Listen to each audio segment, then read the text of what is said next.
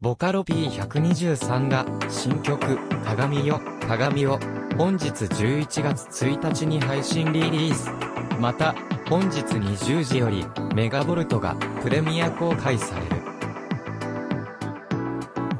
本楽曲は人間が持つ妬みそねみの感情を鏡に映して表現した歌詞を123が得意とする和風ギターボカロックに落とし込んでいる。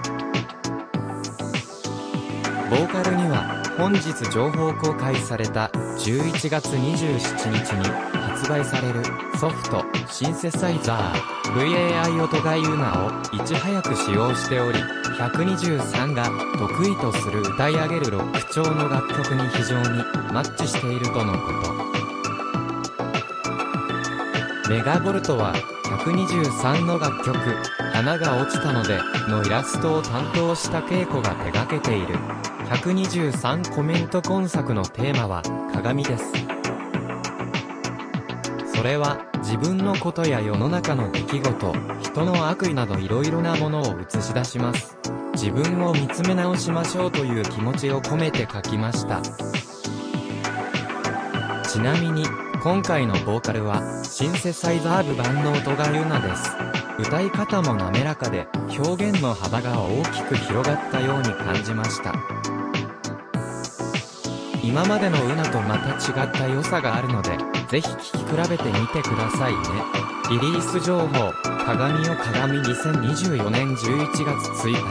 金曜日配信リリース配信リンク、https コロンスラッシュスラッシュ orcd.co スラッシュ kagamiyokenagam 愛作詞、作曲、編曲、123ボーカル、シンセサイザー、VAI オートガイ、ウナイラスト、稽古関連リンク YouTube チャンネル、https www.youtube.com チャンネル、ウッチーグ5アブジ 57pnmnm6 パーフォルツァニコニコ動画、https コロンスラッシュスラッシュ www.nicovideo.jp スラッシュユーザースラッシュ2798037スラッシュ V I D O x q ツイッター https コロンスラッシュスラッシュツイッター .com スラッシュ hihum ivtiktok https コロンスラッシュスラッシュ www.tiktok.com スラッシュひふみ文化がみよかがみ250円アマゾンで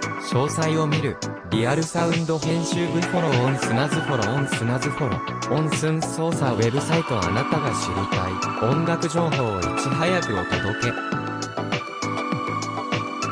シーンの最新トレンドや今気になるアーティストをピックアップし、わかりやすく、そして詳しくお伝えしていきます。